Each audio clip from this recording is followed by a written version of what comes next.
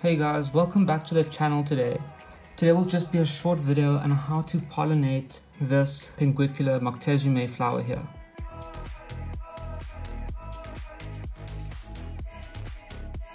So what you're going to need is a toothpick and some permanent marker. And you want to just make the tip of the toothpick black. Um, and the reason why I do that is so that when you're trying to fertilize the plant, you can actually see the pollen uh, contrasting on the white tip of the toothpick. Usually these flowers are pollinated by hummingbirds or flies or moths that have very long proboscises that can actually reach the, the nectar down at the bottom of the shaft here. So simply what you want to do, you want to take the opening of the flower. There's a little lip here, I mean a little um, tongue here, if this could actually focus. So as you can see, there's a little tongue just on the inside here. And on that lip, if this, my hand is the lip, you have pollen on the one side and the stigma on the other side. So the stigma is the receptive part of the female. So what you want to do is try to get the pollen on there onto the back, which is usually more easy with different plants. But seeing as a, this is the only pinguicula I have at the moment busy flowering, there's nothing else we can really do.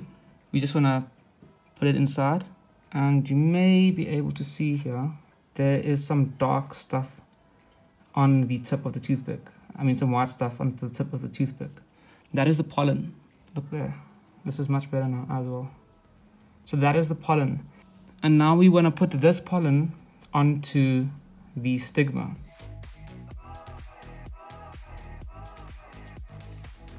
So I just wanted to make sure with Google the side of the stigma. So this little flap has the stigma on the outside. I think I said on the inside, which is incorrect. The anther is on the inside. But you want to take a pollen and tap it onto the stigma here.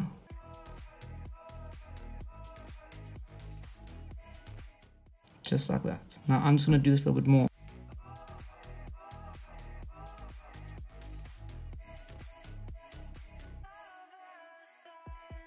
And just like that we have now hopefully pollinated this flower.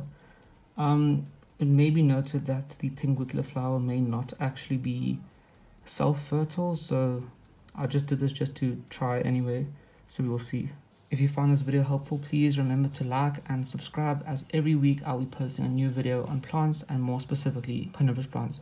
So thank you guys. See you next time. Bye